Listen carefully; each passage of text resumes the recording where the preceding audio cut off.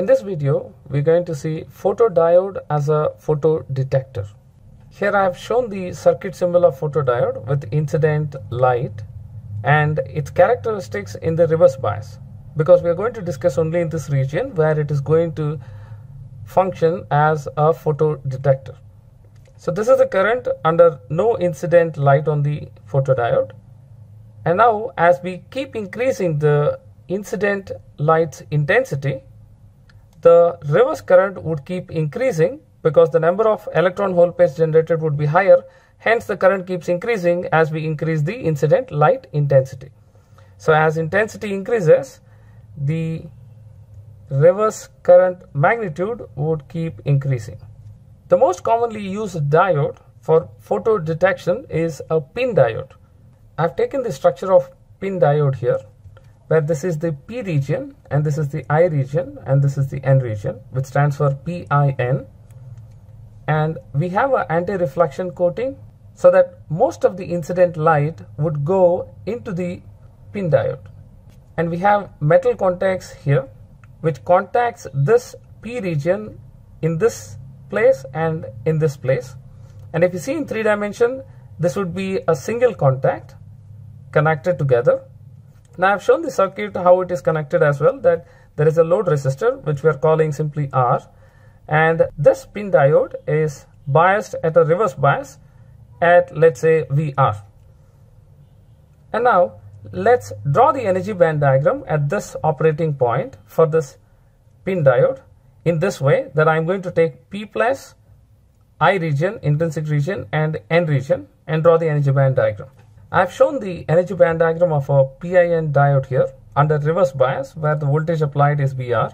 Hence, the Fermi energy levels would split and the difference between them would be Q times VR which is shown here. And there would be electric field in the depletion regions and in the intrinsic region which is shown here that electric field is directed in the negative x direction because the slope of this energy band diagram is negative. And when light is incident, when the photons are absorbed in the p side, where electron holes are generated, this electron could diffuse and actually get into this region where there is electric field, which would take this electron, let's say it diffuses and goes into this depletion region. Then this electron would be pulled in this direction and sent to the n side due to this electric field. So the first thing is it's because of diffusion then enters here Due to drift, it goes to the n side. But holes wouldn't be allowed to get into this intrinsic region because the electric field would push it out. Now let's say electron hole pairs are generated in the intrinsic region because of the incident light. Holes will be sent this way and electrons will be sent in this way. But in this case, the transportation is because of the present electric field. Whereas in p side, these electrons would actually diffuse and get into this intrinsic region. That's why it is written the electrons diffusion in this region.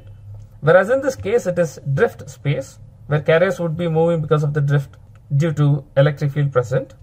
And on the n side when electron hole pairs are generated due to the incident light, holes would diffuse into the intrinsic region where the electric field would take these holes and send it to the p side but electrons would be pushed away even if they want to diffuse and go here.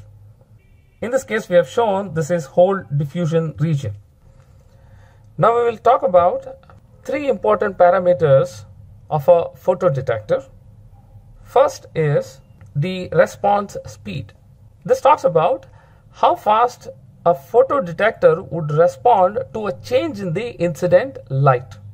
So the parameters which limit the response speed are three.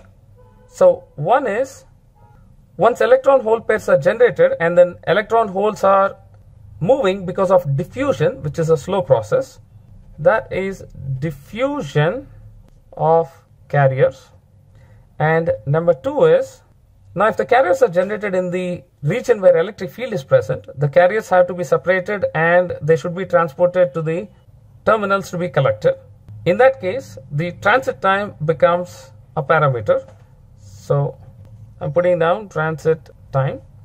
And the third one is capacitance of the depletion region. Now the capacitance of the diode in reverse bias would dictate the RC constant of the circuit where R is actually the external resistor we're talking about. If the RC time constant is higher, the response speed of the pin diode circuit would be slower.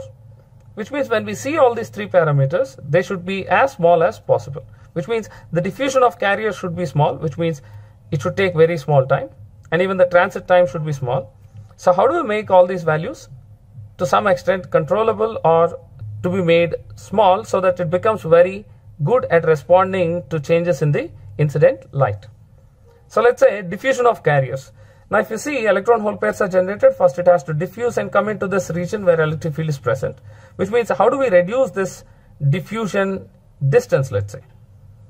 So that is the reason why we have made sure that the P plus region here is very close to the surface so that most of the light would go into the intrinsic region where the electric field region is close to the surface. That is the intrinsic region and the depletion region. Now coming to the transit time, the transit time is the time that the electron or hole would take to traverse the distance in the presence of electric field, the drift velocity. That would depend on how much is this width. And of course, if you look at even the capacitance of the depletion region, where we have positive charges on n side in the depletion region and negative charges on the p side in the depletion region. Now, even the capacitance of the depletion region would depend on this distance between the charges. Hence, these two parameters would depend on the width of this region where we have electric field. So let me take a point here that is they depend on the depletion width. So two cases, what if depletion width is small and another case where depletion width is large.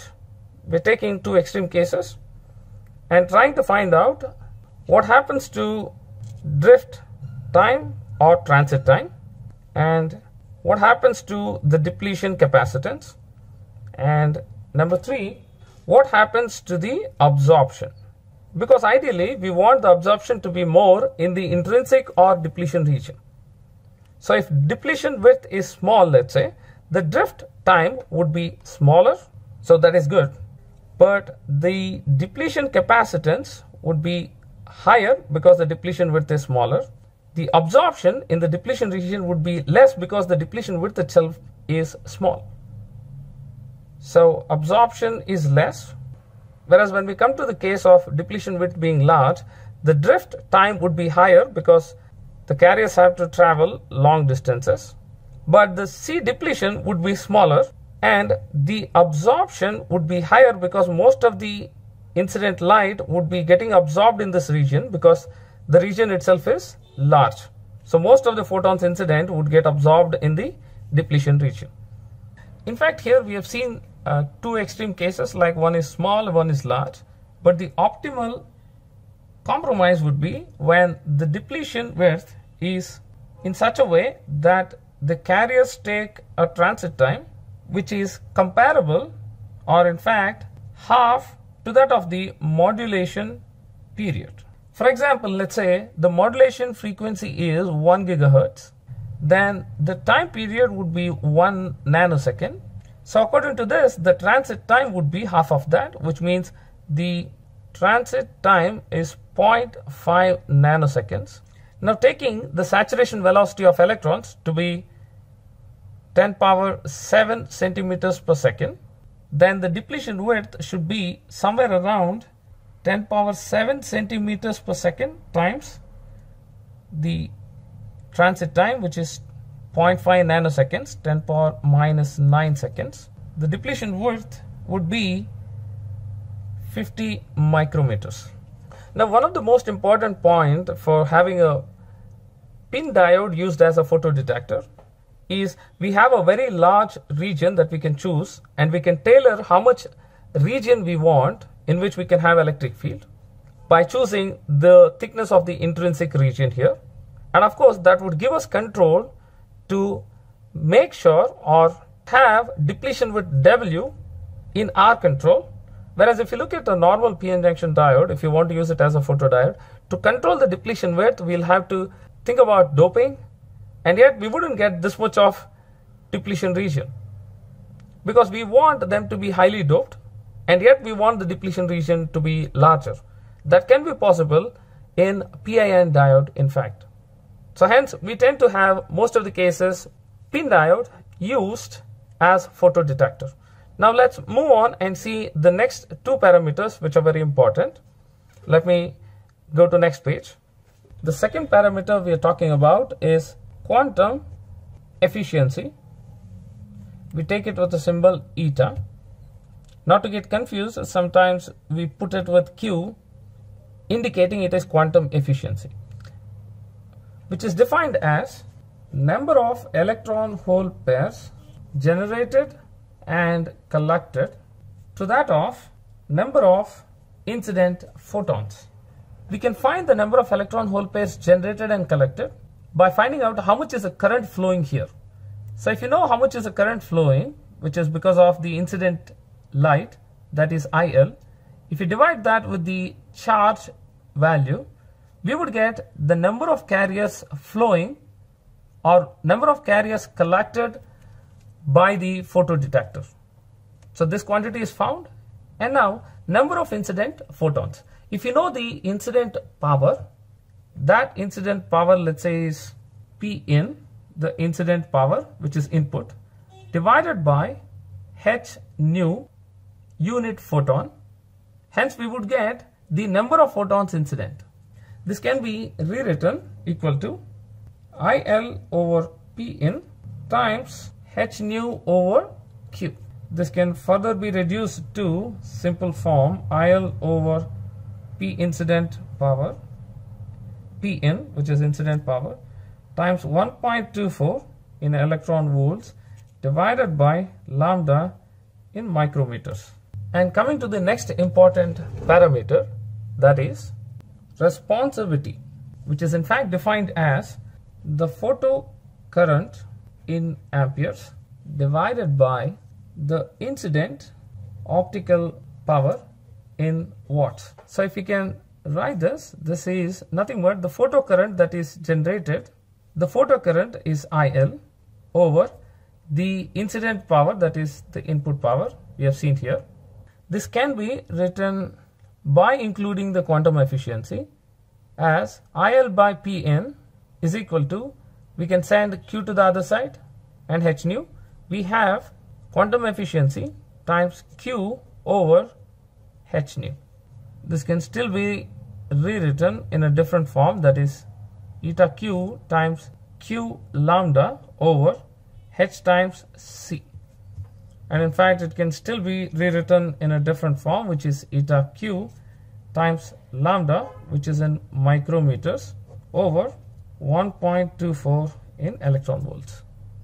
So these are three important parameters we have seen. One is the response speed and what all parameters would affect response speed of a photodetector and quantum efficiency and responsivity. At times, if we have to detect lights which are very low in intensity, we cannot use the PIN diode in a normal way. So in those cases, we tend to go to a photodiodes called APD, which are avalanche photodiodes. Avalanche photodiodes are nothing but the diodes which are operated near the avalanche breakdown region where we have carrier multiplication. So the same PIN diode can be operated as a avalanche photodiode in which case the operating reverse bias voltage would be very high in terms of 100 or 200 volts in which case the multiplication factor would be to an extent of 100 which means if one photon is generating one electron hole pair we would have a multiplication of 100 which means the amount of current that we see would be amplified which means it will add to initial stage amplification in optical communications to detect very small light signals. In that case quantum efficiency can be greater than 1 because we are having initial amplification coming from the device itself when we operate in the avalanche multiplication region. In a normal photodetector, obviously the quantum efficiency would be less than 1.